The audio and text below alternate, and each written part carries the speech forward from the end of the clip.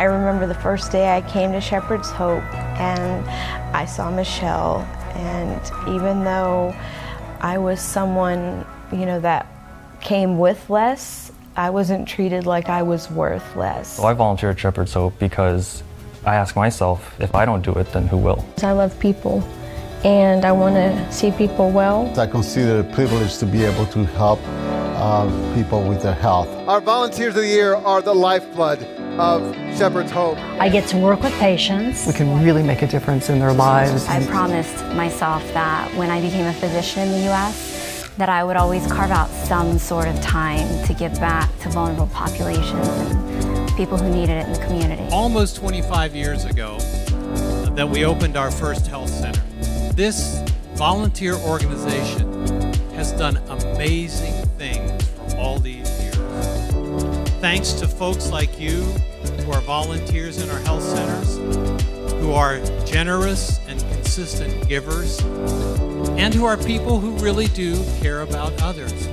And thank the many licensed medical professionals that come to work each day and choose to invest their talents in caring for people and particularly those caring for the underserved through Shepherd's Hope. The retail value of the in-kind Shepherd's Hope care delivered is over $20 million annually. Shepherd's Hope is fully philanthropically funded. There's never insurance reimbursement or annual government funding.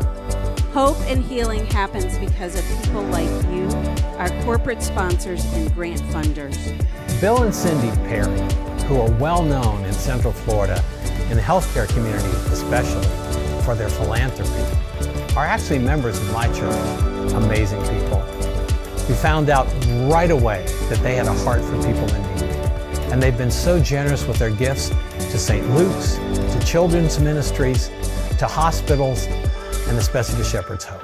You are so committed to your family, your faith, and your friends. And your faith is so strong. I think that's where you get that spirit of generosity. And many times I've heard you talk about that, that you've been blessed with so much and you want to bless others.